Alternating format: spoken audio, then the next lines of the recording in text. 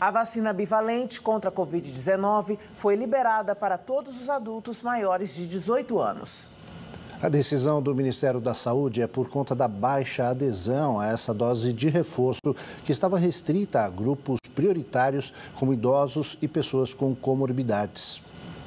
A vacina bivalente da Pfizer é um reforço para quem já havia tomado pelo menos duas doses da vacina monovalente, inclusive de outros fabricantes. O imunizante fornece proteção contra a variante Omicron e também para a primeira cepa do SARS-CoV, identificada em 2019.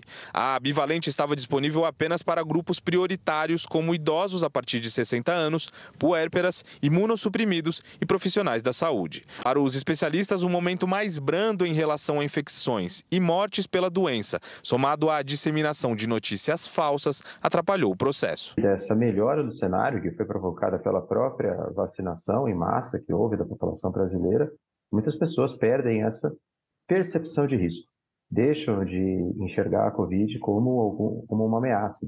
E aí acontece a questão de hesitação vacinal, ou mesmo de eh, não fazer as doses de reforço. Nós vimos uma enxurrada de notícias falsas relativas à não eficácia, relativas a eventos adversos que são absolutamente falsos, e isso acaba drenando, acaba diminuindo a confiança das pessoas em relação às vacinas. Agora, com a disponibilização para o público geral, 97 milhões de pessoas estão aptas a receber a dose bivalente da vacina em todo o país. Mas para atingir todo esse público, segundo os infectologistas, o Ministério da Saúde vai precisar reforçar as campanhas de incentivo. A gente tem que cumprir sempre o papel da informação, né? Passando sempre né, os dados estatísticos, mostrando como que era antes, como que está agora qual o risco para a população. Além disso, ampliar né, as campanhas, ampliação de propagandas, ampliação de horários de funcionamento de postos de saúde, tudo isso facilita a adesão da população.